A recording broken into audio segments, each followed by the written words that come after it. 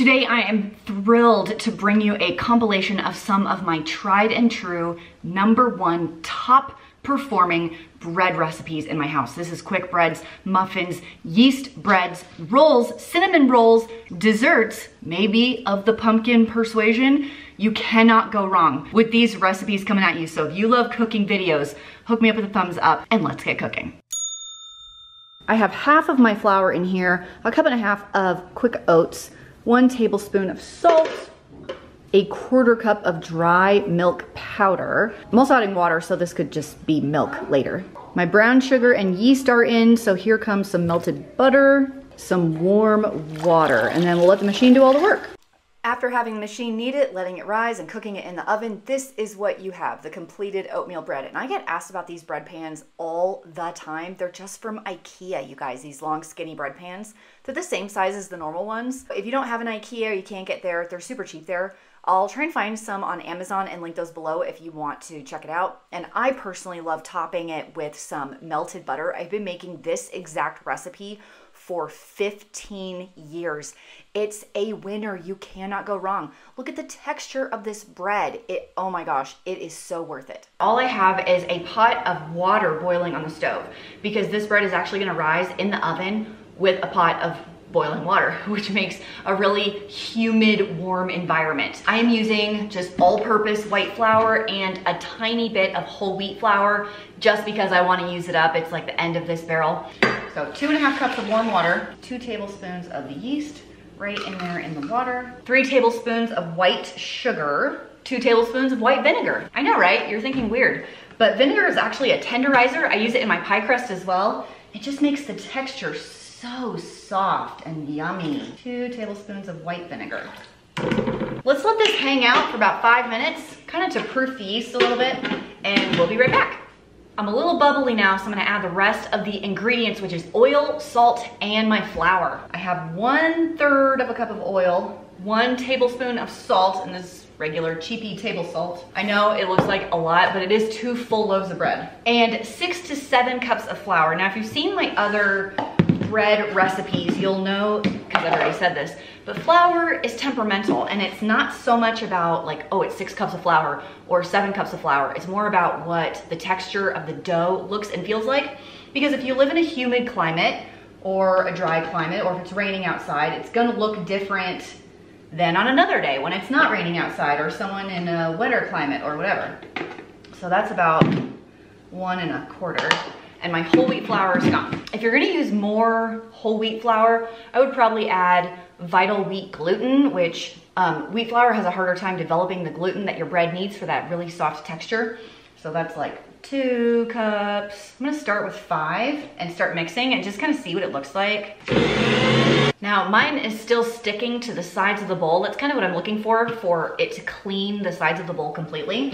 So I'm gonna add I'm gonna go with a half a cup right now and mix it again and just kind of see what it looks like. Okay, mine just cleaned the sides of the bowl completely, so I'm gonna let this run for about 10 minutes just to knead it.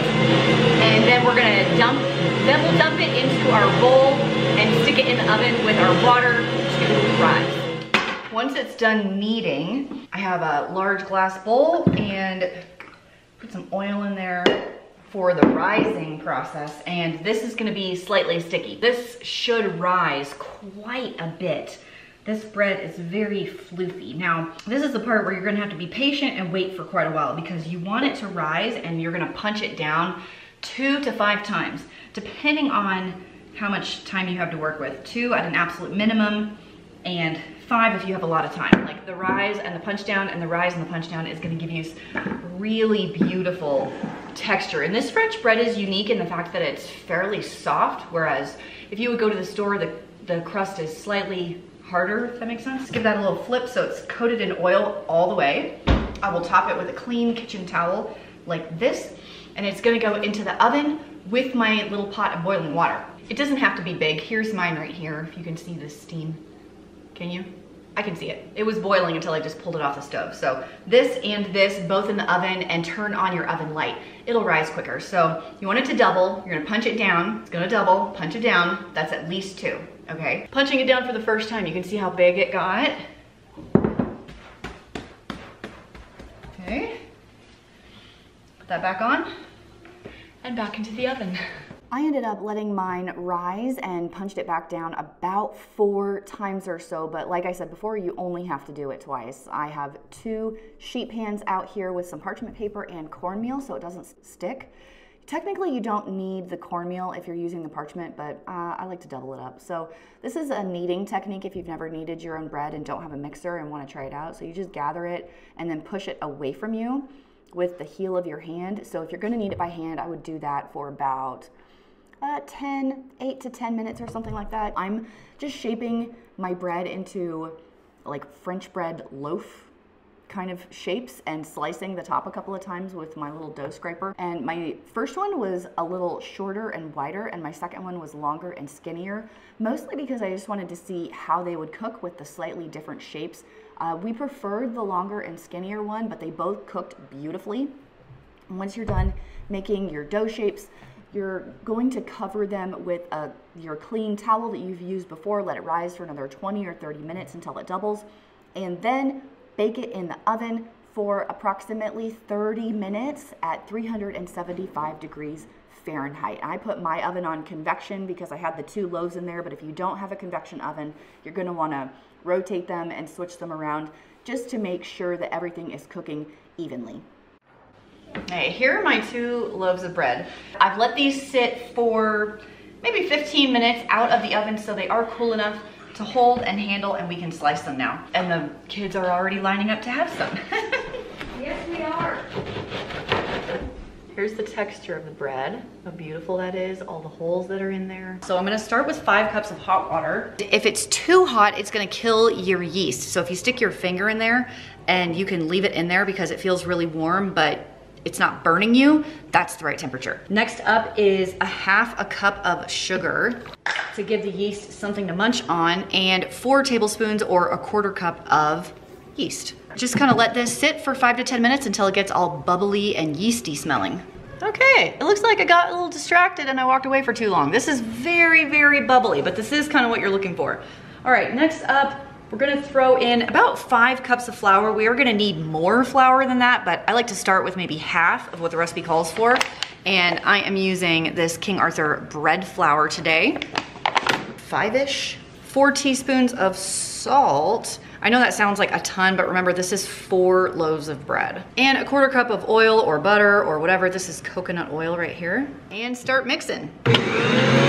So we're gonna take this out and put it in a greased mixing bowl. I have a, I have a 13 quart mixing bowl that I like to put this in and it's gonna do its first rise. So I know it's gonna feel too sticky. The first time I showed my mom this method, she was like, this, this dough's too sticky, it's not gonna work. And I was like, mom, trust me, it'll work. Because it just has a different texture when you make it in a mixer like this. I think it's probably gonna come across as a little sticky, plus I have gloves on. But let's get this out of here. So I just have some vegetable oil in this. Now that it's in there, I just wanna roll it over once, like something like that, so it's all coated in the oil. And now we will put a clean kitchen towel over this and let it rise for 45 minutes, an hour, hour and a half, depending on how warm your kitchen is.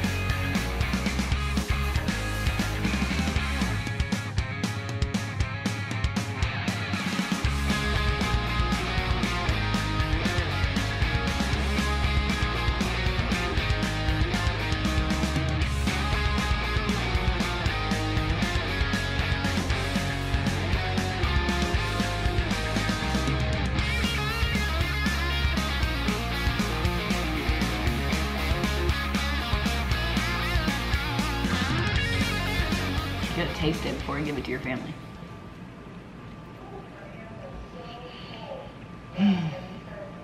I creamed the butter and sugar together forever. Look how light and fluffy this is. Then I did the eggs one at a time. Please make sure you turn off your mixer before you add eggs because let me tell you what, crunchy, crunchy bread, crunchy cheesecake, yeah, it's not really the best.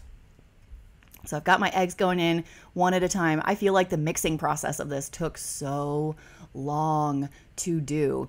And there's my sweetened condensed milk that went in there. Oh yeah, by the way, if you're new, I don't measure my vanilla like ever. I just don't think it's necessary. If a little bit of vanilla is good, more vanilla has to be better. So here's what I'll say about pound cake. I don't know if you guys are fans of pound cake or not, but I'm generally not a pound cake lover. It's too, I don't know, dense, wet, not sweet enough, um, too rich for me. I don't know. I don't really jive towards really, really high fat foods and desserts in general. They're just too much for me.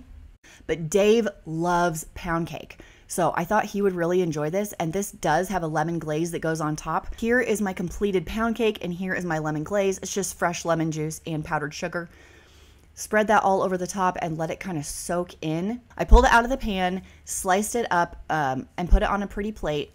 Sorry to interrupt the cooking fun, but I did want to let you know that if you're interested in any of today's recipes in this video, I do have a PDF a little mini e-cookbook if you would like to purchase it for just a couple dollars. The link for that will be down below in the description box. Let's get back to cooking. On.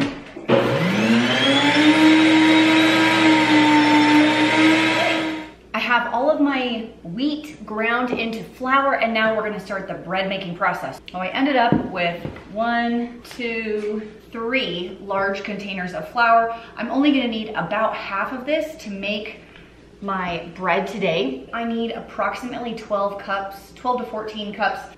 I'm starting with six cups of water. Remember, I'm doing four loaves of bread and you just wanna make sure it's warm to the touch but doesn't burn your hand. And that's the right temperature. Two thirds cup of oil. I just have a vegetable oil. Two thirds cup of honey.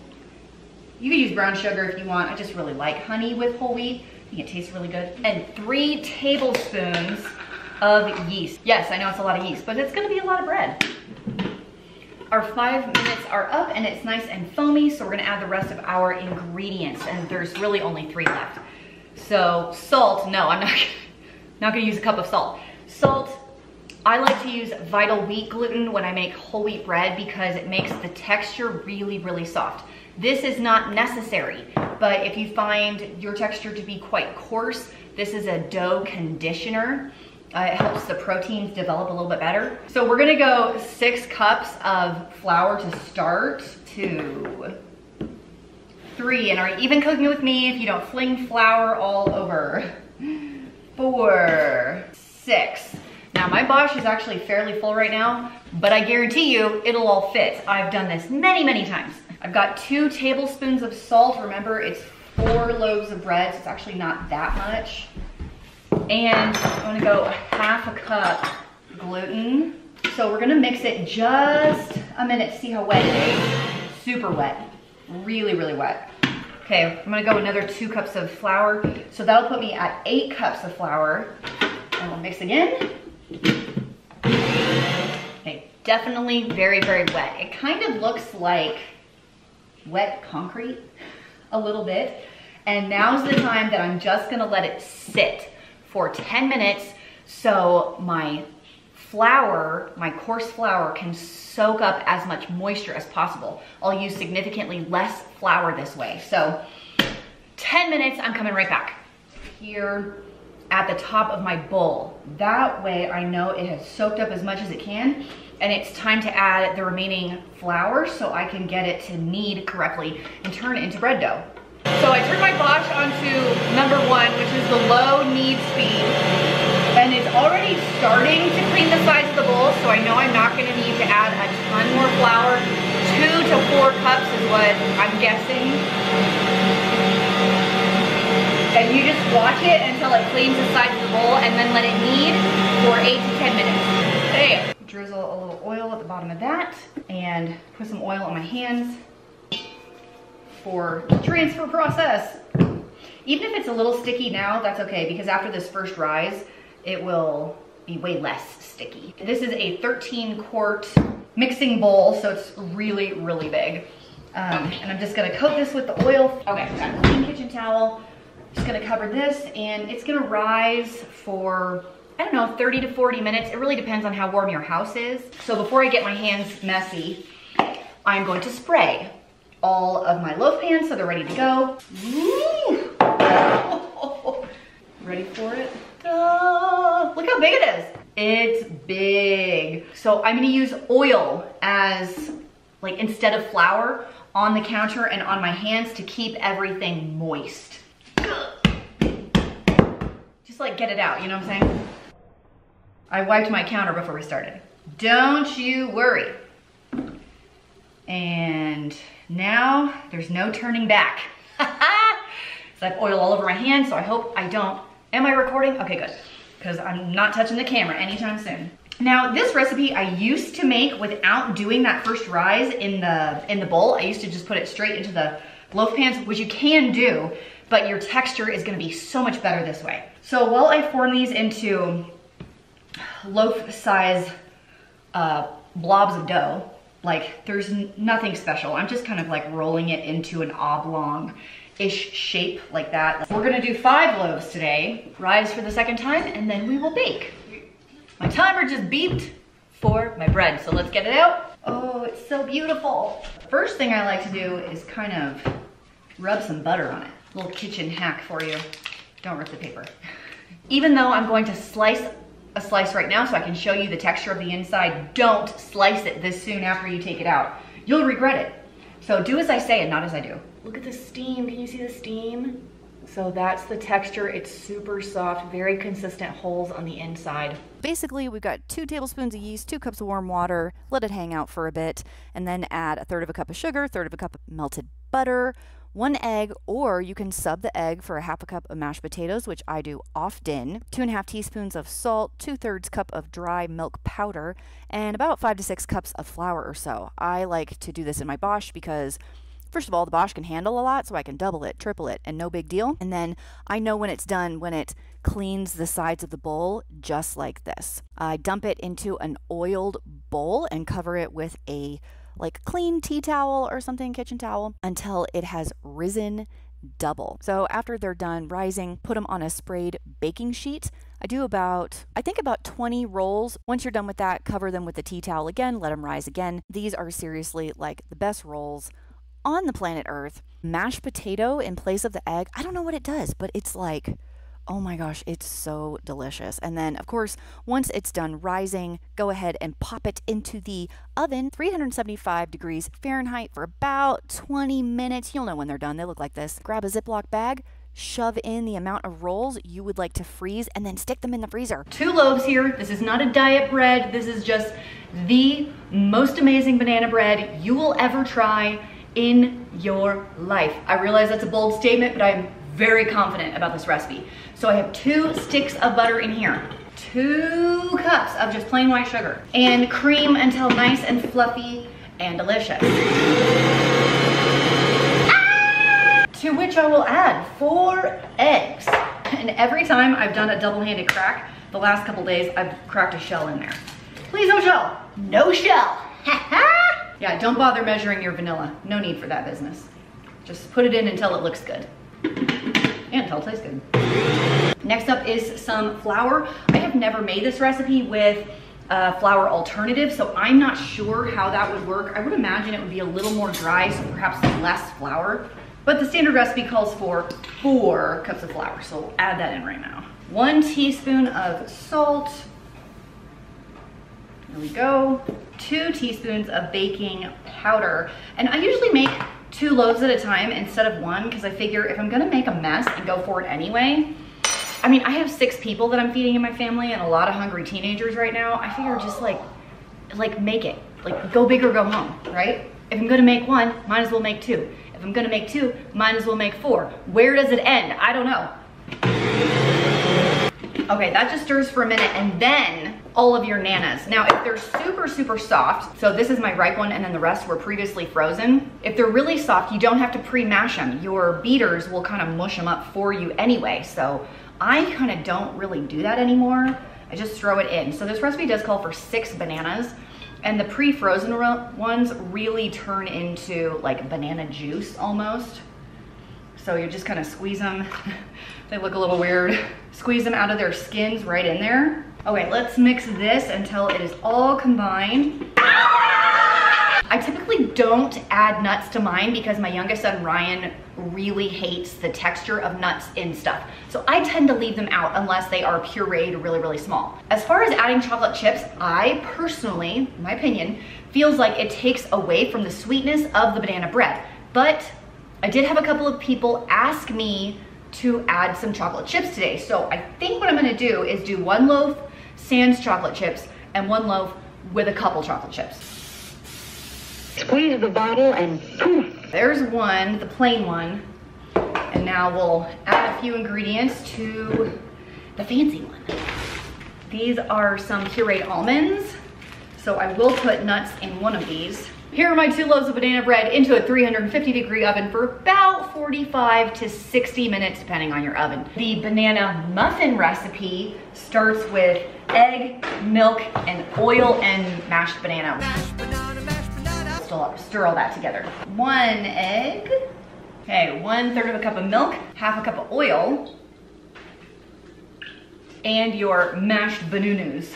And if your bananas aren't quite soft, you can use a pastry blender to mush these up. I think that's a really good way to start it. Two cups of flour. Mm-hmm. Two thirds of a cup of brown sugar. We're gonna go one tablespoon of baking powder. Yeah, that's gonna make them nice and floofy. And one tisp of salt. Don't mix for too long, you don't wanna make it tough. Now, if I remember right, this muffin recipe only makes 12, so if you're smarter than me, you would double it. 400 degree oven for 15 to 20 minutes. Here are the muffins. How beautiful are these? Basically, you're gonna mix warm water, sugar, oil, and yeast in your mixer of choice. Anyway, you let the yeast stuff sit for like 15 minutes or so, and then you add the salt, the eggs and the flour. Because you add so much yeast, you can see it like bubbling up like crazy right here. This rises very, very quickly. So after you mix this all up, wow, that's a lot of flour. Kind of looks like it's going to explode, doesn't it? Holy moly. Yeah, the Bosch is so awesome. It can hold easily like 15 cups of flour. It's fantastic. So kind of the same story as the rolls. You just mix it up until it pulls away from the bowl and then let it, I just let it sit in the Bosch. And so while that was rising, it doesn't take very long. I mixed up the cinnamon and sugar for the filling, a little bit of melted butter, about half a cup or so, maybe a little bit more if you like it super buttery, which I do. Take your big ball of dough and you're going to divide it into, and then do your standard cinnamon roll mush, right? I, I don't use a rolling pin for this. I just use my hands and, and mush it out into like a square. Add about half the butter or so, and then your cinnamon sugar mixture. Or if you know, if you want to do orange rolls, this is where you would be adding the orange. So roll this up as tight as you can. I like to go away from me. I feel like I can go tighter. Your hands will get messy here. So just put on an apron, you know, start with clean hands and just accept the fact that you're going to be messy. And if you have a helper, that would be really, really good. So my tip as far as cutting cinnamon rolls is to do it with dental floss. You can do this uh, cool little swipe like this. It just cuts it so nicely. A knife will mush it a little and then put them in the pans you would like to cook them in. I have never frozen these, but my friend Heather freezes them all the time. And so I was taking her advice on this and I learned a few things along the way. I was putting them in this these throwaway freezer tins because I just thought they would be really easy to like bake them in there, stick them in the freezer, done and done. But what I learned is they don't cook evenly in like foil things. So go ahead and cook them in the cookie sheet like you would normally. Yes, you do want to cook these before you freeze them. Go ahead and cook them, let them cool completely completely and then stack them in your foil thing. Cover them with saran wrap and then foil once, you know, Christmas morning or whatever, get them out the night before so they thaw completely, put them in the oven, with foil only on the top at 350. Warm them for 10 minutes and then go ahead and top them with your favorite cream cheese frosting. Please do the cream cheese frosting. It's so much better than the glaze, don't you think? Like the cream cheese frosting just takes these over the top. So I highly recommend doing that. These are bomb and you don't even have to like cook them all the way through. Just thaw them and rewarm them in the oven. I'm telling you, they're gonna work perfectly. So I have three sticks of butter, softened butter in here. I'm gonna put this in my Bosch mixer. I would not try this quantity in a KitchenAid, but if you just wanna do a single batch, which is going to be the recipe I leave below, feel free to use that or a hand mixer would also work. And brown sugar. Now don't be scared, I'm tripling this. Oh yeah, we're talking three cups of sugar Next up, we have three eggs. And we're gonna use some sour milk, but I don't have any milk. So I'm using water and powdered milk. Basically, you're just gonna use regular milk and add some lemon juice or vinegar to make it kind of sour, and you're good to go. One and a half tisp of vanilla. Yes.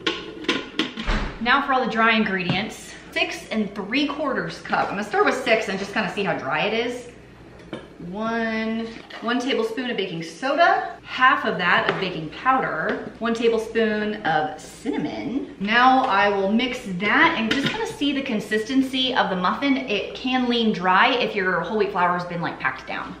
That looks like a really nice consistency actually, so I don't think I'm gonna add the last half a cup to three quarters of a cup of flour because mine must have been just packed down a little bit. I am baking at 350 degrees for approximately 20 minutes because I'm doing the giant muffin tins. So you guys haven't moved to the giant muffin tins. If you do bulk cooking, like you feeding a large family, you should try it. They're the equivalent of two small ones, and I feel like these are way easier to clean, and there's less holes to clean as well. Here are my whole wheat muffins. I'm gonna scoop these out and put them in a Tupperware and continue to cook the rest of this batter, and then my muffins will be finished.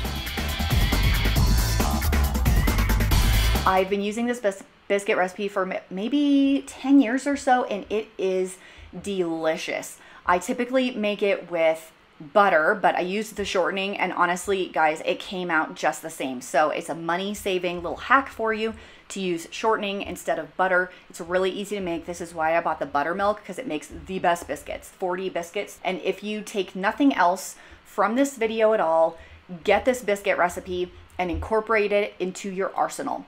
What I like about these is you can add extra water after you kind of mix it up if it's feeling too dry. And it was for me, I live in a dry climate anyway, so it did need a little bit extra. And then as you start folding it together, all of the crumblies will start to come together. This is so easy to make. It bakes in 15 minutes. There's no rising time or anything. And I went ahead and just cut it into like little squares with this dough cutter. And I've heard you can pick these up at the Dollar Tree for a buck. So if you want to get yourself one of those, I think it's a nice little addition to your kitchen. You can use this for anything breakfast, dinner, lunch. I love homemade biscuits. I separated four eggs, so I have my egg whites here. I'm gonna whip these up to get a meringue going. So set those to the side and I have a wet ingredient and a dry ingredient situation. One cup of cornmeal, blop. Two cups of flour, one and two. One teaspoon of the baking powder, a half a teaspoon of salt. I just have plain old, plain old salt. That's almost gone. A cup and a half of sugar. Yes, a cup and a half. I told you it was delicious. Just using cane sugar here, cup and a half. Whisk it vigorously. Set that to the side. In my wet bowl, I have my four egg yolks to which I will add one cup of milk, one teaspoon of vanilla measured with your heart, 12 tablespoons of melted butter and they've kind of cooled so they're not gonna cook up my egg yolks. And we'll whisk that together. I will add my wet ingredients to my dry ingredients. Here we go. And mix until combined. Now we're gonna add our egg whites that I beat with a hand mixer until they were big and fluffy. Fold in the egg whites with trying not to like mush them up. I like to do half and then half again so we don't deflate all that air. That is what we're looking for. Look how beautiful it is. So I'm gonna bake this at 350 degrees for 30 minutes and I'm gonna do one foil pan that I'm gonna take to the family and then one eight by eight or nine by nine pan that we're gonna keep here. Make sure you spray these. Hopefully I can divvy these out equally. Corn cake is complete when it's like firmish to the touch. The only thing that would make that better is a little bit of melted butter on top. Damn, that's good. Go make it. Just do it. One cup of softened butter, to which I will add, so I have one cup of granulated sugar. I am using cane sugar because I'm about trying to use this guy up. And a half a cup of packed brown sugar, packed brown sugar. Cream those together, and when you're creaming butter and sugars together, you cannot over mix it. The longer it goes, the more air that gets whipped into it and the fluffier and more delicious it ends up being. So let her rip. Here is our batter and we'll add two more, well, maybe three more ingredients. One cup of pureed pumpkin. Not pumpkin pie filling, two tablespoons of water just to thin it out, some vanilla, and I mean, you can measure this if you wanna act like a caveman, but I figured that's about it. And mix one more time. Looks orange and smells like baby food, so it's time to add the flour. And I know what you're thinking, where the heck are the eggs? Well, that's because there are no eggs in this. Can you believe it? No eggs in this. Two and a half cups of flour, I'm just using regular all-purpose flour. I would assume if you use the one-to-one -one flour from, I think it's Bob's Red Mill, that it would turn out similar two and a half teaspoons of cinnamon. If they're slightly heaping, that's probably fine because cinnamon is amazing.